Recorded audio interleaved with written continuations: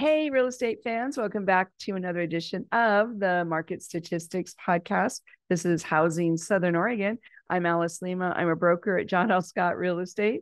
Um, and just want to jump right in because we've got good news to report. Jackson County uh, prices year over year this week are up 9%. The average single family home now costing $492,038 residential. Number of sold year over year in Jackson County are down 4%.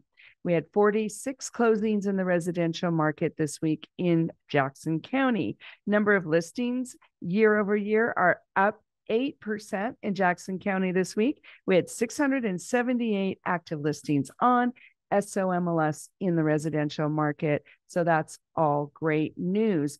Uh, number of foreclosures that closed in Jackson County this week, we did have one. It was in Southwest Medford and it closed for $290,000. We had zero short sales close uh, in Jackson County this week, and we did have one million dollar plus listing close this week in Jackson County. It was in Gold Hill. It sold for 1.07 million and it was only on the market for 23 days. Think of that. Okay, let's go to Josephine County. Josephine County prices year over year this week were up 27%. The average single family residential home now costing $488,176. Josephine County residential this week. Number of solds are down 50% in Josephine County. We only had 11 closings on SOMLS in the residential market in Josephine County this week. Number of listings year over year are up 25% this week. We have 318 active listings on SOMLS in Josephine County this week in the residential category.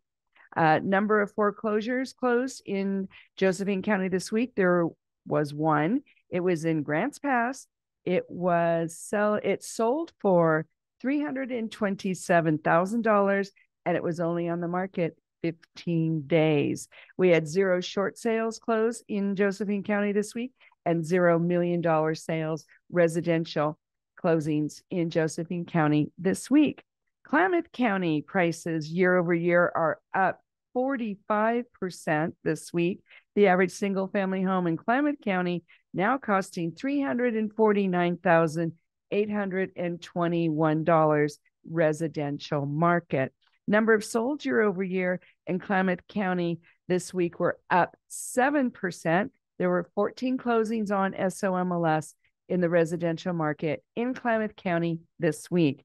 The number of listings year over year in Klamath County are up 8%. We had 243 active listings on SOMLS in Klamath County residential this week. Uh, foreclosures in Klamath County this week were zero closings, zero short sales closed in Klamath County this week, and zero million dollar residential properties closed in Klamath County this week. So there's a lot to crow about.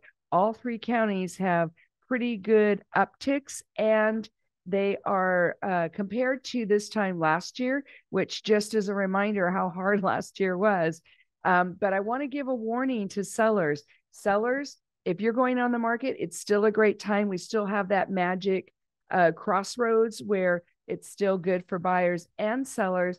But sellers, beware of overpricing this spring because there's more inventory coming on the market, there's more competition. And even though there's still lower inventory to meet the demand, it's not like it was the last few years. You cannot go back more than six months. And actually, three months is better when you're doing your comps. Keep that in mind. Now, having said that, most agents will put whatever price you want to try for a few weeks, but you're you're losing time when you do that. Okay. Uh, buyers, just want to give you some encouragement. I know it's brutal out there. The interest rates, the interest rates are crazy. Uh, the inventory is better, but it's still not ideal.